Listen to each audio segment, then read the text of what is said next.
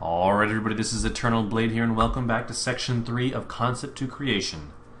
Today we will be focusing on making the cutting board in our scene. You can see one there, there's another one back there, and that's sort of a similar one, very close, and then a couple more hanging right up there. Okay, so I'm going to bring my reference image off to my left hand screen and I'd suggest you do the same or print it out. And let's begin. Uh, first thing I want to do is make a box we're going to turn on auto grid here and just sort of sketch out the general size that you want this thing. So you need to take into account perspective. So it's kind of hanging. Yeah. Wow, I just realized something about this entire scene. Well, that is interesting. So what I realized was this is extruded outward, like so. Huh, how did I not realize that this whole time? Okay, well, either way, that's what it looks like. And let me just go over here and make sure it still looks good. I guess that's about where it's got to be. Okay, well, good. I uh, didn't think about that, but I don't know why it looks like that, but that's what it's supposed to look like. So, anyway, back to our cutting board. Um, so this is kind of like, or sort of something like this, and we're gonna shrink it just a bit, position it, sort of rotate it a little more. Not quite that much.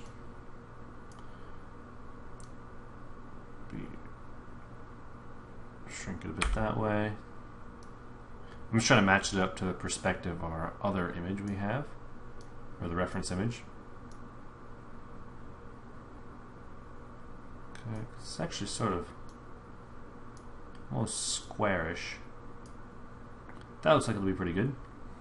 Okay, so next what we can do is isolate selection. Let's go to perspective here and turn off our safe frames, or you can just use Shift F. Press Z to zoom in. And we're going to convert this to an editable poly with my hotkey that I use, Control Alt Q. Okay, let's uh, take this, connect with two segments. Okay, and let's sort of do something like this. We're going to extrude this a few times. Okay, go to the top view here. And we're actually going to rotate this back to where it was, so we saw it was 40 degrees. Okay. Now we're just going to sort of attempt to make um, the same shape that we have. Okay. Or the same sort of round bulbous shape with a hole in the center. Okay, looking pretty good. Bring this in, and we can sort of move some of these. Strange, my computer was just making noises. Don't like it when they make noises. Noises are bad. Okay, to your polygon, extrude twice should be good. Press 1 to go into vertex subobject mode. And actually, I guess once would have been enough. So delete, select your border here, and cap it. Okay. There we go. And now there is a hole in the center of this. So what we're going to do is going to take our vertices here and going to cut from this one all the way down to sort of here. Okay, and then this one down to here. I'll straighten these up in a bit. Uh, go to your perspective mode and cut the same on the other side. I'm just right clicking or left click and right click to edit the cut. Okay. Go to your front view here F3 and actually what we want to do is select those lines, control click. Now we can see what we're actually working with here. So press R and scale them in. R and scale them in just so we get the lines nice and straight. Okay. W, F3, P for perspective, Z to zoom in. Now let's click uh, these two over here, these two, and you want to hit bridge. Now we'll make this nice box shape here. Go into the top viewport, and we're actually going to click all these lines here, connect, and we're going to want two connections, sort of bring the pinch in just a bit. Alright, now what we can do is bring these out. Okay, and then press R and sort of make a circular shape here. And let's make the hole just a bit smaller. Well, I think it's this whole thing that needs to be smaller, not just the hole. Oops. Redo that. Okay, let's shrink this whole thing down just a bit and move it sort of inward. Press R, and there we go. Now we've got a fairly good, let's actually bring these up just a bit, give it a little bit more roundness, and maybe, there we go, just trying to round it all out, make it look the way it should look. Okay, and there we go, there we have it. So let's end isolation mode, press E, and we rotated this 40 degrees, so let's go 40 degrees back the way we came, go to our camera, and there we go, now we have our nice cutting board, and it looks just about perfect. Um, what we want to do though is take, let me see here, Well, I'm debating if I want to chamfer the edges on this or not. Kind of want to, but at the same time I kind of don't. We probably should though. Q. Let me Do that. How odd. Okay, well, I think just because we're trying to save polygons here, we can eliminate that step since these are pretty diffuse textures anyway. So next let's go to an unwrap UVW. Okay. And we're going to select, let's see here, open your UV editor. Press Control A for now, mapping and flatten mapping. Let's see what we get. Not bad. Not bad at all. Okay, so let's select these and all of this. Alright, press E, rotate it 180 degrees. W, just move it right on top of the other one. Should align pretty perfectly. There we go. And then what we can do is sort of gather the rest of this stuff. Okay, mapping, flat mapping, okay. We'll sort of expand. Well, actually we don't want to do that. Let's undo that. Let's figure out where these pieces go. So, just seeing here, so this edge to this edge. Right, let me move these sort of out of the way.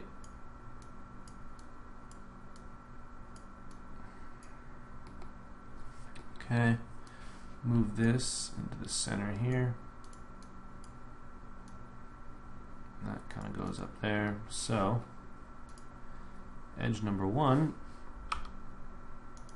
let's see, so that goes to there. So we're going to take this, move it, and just flip it around.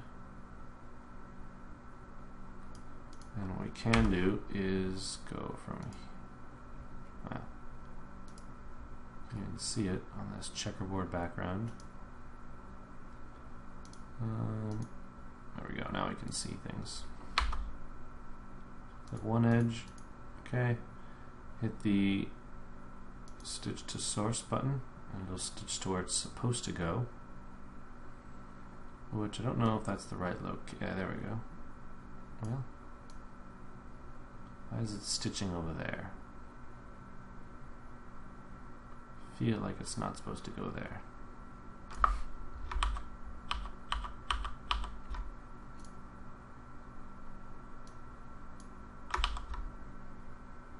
Hmm. That is what it should look like. Not that it matters much, but just in case. So this is going to be good to go. Just move it over here. And again, you could stitch these, but I think for what we're doing, this will work just fine. And this is going to be the bottom. Let's see. We go. So. Rotate it. 90 degrees and bring it into position. Sort of over there. And let's see. That should be good. That's gonna be good. These side pieces here. Let's see so it's gonna go it's gonna be rotated like this 90 degrees and sort of over here, and these don't need to be touching at all, uh, since all these are going to be seams. Let's see, this is going to go sort of over here. It would be nice to connect these together. So let's let's do that. So 90 degrees, and we'll bring this over here. And then this will probably go to the other side. Yes, it does. Okay, so rotate that, bring it to the other side. Alright. This is going to go... Hmm. Alright. So it'll go over here.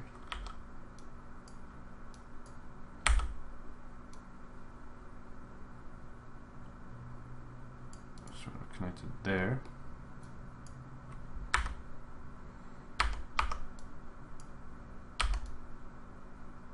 I'm curious about this stitching though as to why it does not want to stitch my things. Oh, there it goes, now it stitches. Interesting. Okay, move that in just a bit. Alright, and then we've got these couple little pieces here, which are going to be the internals, so we'll stack those on top of each other. Okay. And it's this part. Sides and the other pieces. So I think that one of these sides should link up. There we go. So we'll put it sort of right there.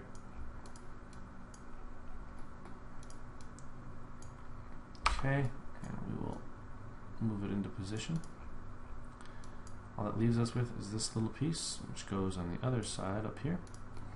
And we are going to rotate it 90 degrees like so, move it into place, and that'll be good to go. And this will be the little centerpiece, so we'll move it sort of into the centerish area. Right, click your box there, and oops, just sort of move it into position. We'll scale it as large as we can get it.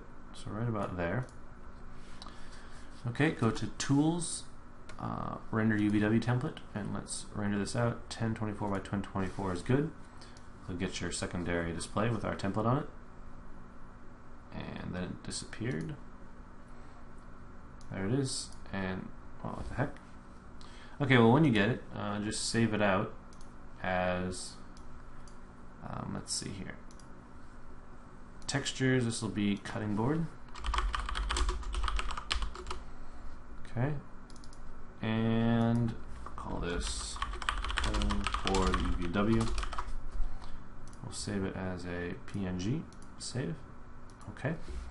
And now that we have that, uh, we're going to go hop right over into Photoshop and I'm going to speed up the texturing process while I uh, discuss it. Alright, so let's head over to Photoshop.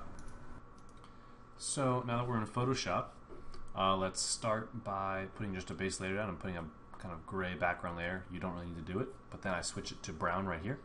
This is going to be kind of for the basic uh, structure of our wood. And I'm going around and naming all my layers just so that I have a good uh, idea. And here I use a filter um, wood grains, or grains. And this will give me the basic grain texture. I have one dark brown and one light brown. I then go ahead right here and use the liquify tool and sort of move it around with a big brush, use the swirl brush to make knots, and use the bloat tool to make them a little bigger. So I increase the uh, texture size here, and just to give it kind of a more stylized look, not quite as small grains. Uh, now on my um, sort of highlights layer, I'm going in with a slightly lighter color brush, you know, a brown color but a slightly lighter color, and just tracing along all the edges of the wood. Kind of like a natural, um, you know, specular highlight just on the edges, right where the light would reflect. You know, it's nothing too intense. Uh, it looks like a little bit like a drawing. Uh, but I go in later with the smear tool and kind of smear it out just to give it a bit, you know, less hairy look, I guess is the, technical term for it. So I just save it as a diffuse texture and I'm applying it just using a regular V-Ray material, applying my diffuse texture and just checking to see that everything lines up. So now I'm making an adjustment layer there and lightening up the wood. It seemed a bit too dark the first time I did it. So on my details layer, I'm adding with a light brush these very light scratches, almost like a knife would cut in and leaves that little mark. And then with a sort of black or very dark brown brush, I'm getting these kind of darker um, cuts in the side, almost like a you know the, the cutting board got nicked and there's sort of these darker, you know, crevice crevice shapes. And then uh, here I go with the burn tool. I'm sort of burning all the edges of the cutting board just to give it a bit darker look. And at all the dark portions of the wood where you can see the kind of darker wood grain, I'm going in and burning them just to give it kind of a more contrasted feel, just so you, you can really, the colors pop. Okay, I'm applying a um, bevel and emboss uh, layer to the cuts, the details, just so they look actually like cuts in the diffuse texture. And I'm not going to solely rely on a bump map for their detail, although I do apply one later. So I'm just carrying on with burning here, um, adjusting the bevel and emboss a bit. So I'm just continuing to render it out. I use the render region window just to speed things up uh, once I realize there's no point in rendering out the entire image. Okay, so now I've saved this off as a separate map called bump. And I'm just going to try to isolate the scratches and gouges that I made. Um, so right here I'm just trying to figure out how I want to really bring out, you know, bump up the contrast and whatnot. And I eventually figure out that I want to just copy that um, scratch layer off to another uh, canvas. And I'll put a white layer um, beneath it. So you can see right here, I copied it to the canvas, I put a white layer beneath it, and I'm just using the brightness and contrast and decreasing the contrast to really bring out those dark spots. I name it bump and I apply it to the bump map. And I end up going with a 30, um, which will lead me into uh, the next little section here. Okay guys, so here we are. Um, here's the final image uh, that I've created here. Uh, so it turned out really good. Um, you can see we have the nice bump textures, the wood grain, you know, the knives, even the knife cuts on the board. Uh, so let me close that and let's do a quick rundown of the texture here. Uh, just very simple. We have the one um, bump map that we made of the knife cuts and the general um, diffuse texture. And um, you've seen me go through the entire process here, um, but we pretty much just have you know the the outline, the white outline, the small cuts with a bevel and emboss layer, and we have um, the base uh, wood layer, which is just a fibers um, adjustment layer that I put with a liquid uh, liquidize, I believe that's what it's called, liquify, liquify um, um, filter and we sort of made some knots and made the wood grain a little bit uh, different just to give it a different taste. So I'm going to finish off this scene here. We're just going to copy these into a few different locations here. Go to the top view. And it looks like there's going to be one sort of on this table as well. And it's going to be in the other direction. Sort of over here. Maybe resize it a bit. Go into our camera. And so it still needs to be a bit smaller. And we can actually move it over here while we look. So it's going to go over here.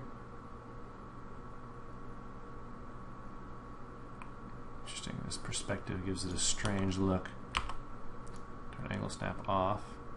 And maybe it is going to be just a bit bigger.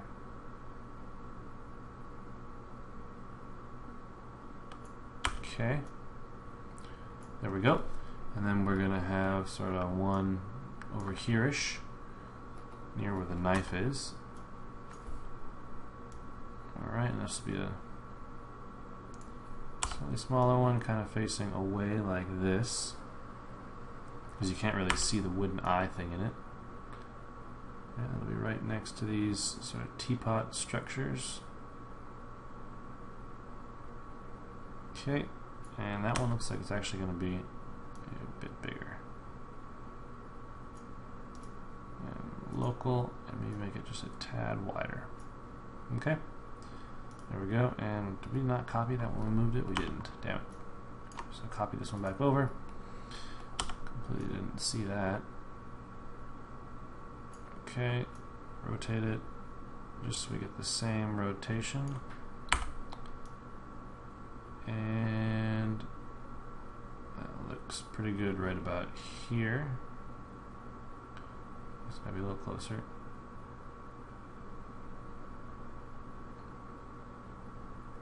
Yeah, right about there is probably good. Okay, and then what we've got is a couple of these hanging sort of on the wall. Rotate it like so, and then rotate it up at 90 degrees here. And place it sort of on this pillar here. You can just see where we are, so let's hang it up a little bit above this cabinet, so right about here. And there's going to be two of them, so one of them is going to be hanging pretty much straight. Maybe we'll turn it just a bit. And then make another one, a copy. Okay. And we're going to scale this one down a bit. Alright. And move it into position so that the eyes sort of match up on these. Go to the left hand view, we should be able to see the eyes a bit better. Okay, that should do. Then we're going to sort of twist this one um, just a little bit. It looks like it's going to be a little twisted to the right. Okay, move it back to line it up again. And there we go. Looks like we've got the cutting boards in place. Um, Let's render this out one more time and see what we've got. Alright, here we go. It's looking uh, really, really, really good. Um, the only thing I want to do is just for this um, cutting board right here, since it's kind of like a, a, hero cutting board, is I'm just going to ever so slightly bring one of these polygons in. So yes and hold. And just kind of move it in just a bit to give it a bit of a sort of wave or wave-y appearance. There we go. Uh, I'll do one more quick render. Alright, here we go. Uh, now you can see just a very slight kind of curve in there, and that's exactly what I wanted. Uh, now one other thing here that I wanted to do is just sort of work on the sun for a second. So we're going to unhide all, and here's our sunlight, and just sort of see how we can I wonder how I am able to do this. Because our door is sort of here. And our sun is supposed to be shining through said door. It seems like the only way to get our thing to work is if we sort of move everything back a bit. Kind of to here. Okay. And let's grab all of our little polys in here. Sort of scoot them back. Okay, I'm just trying to get the light uh, source to line up to where it should.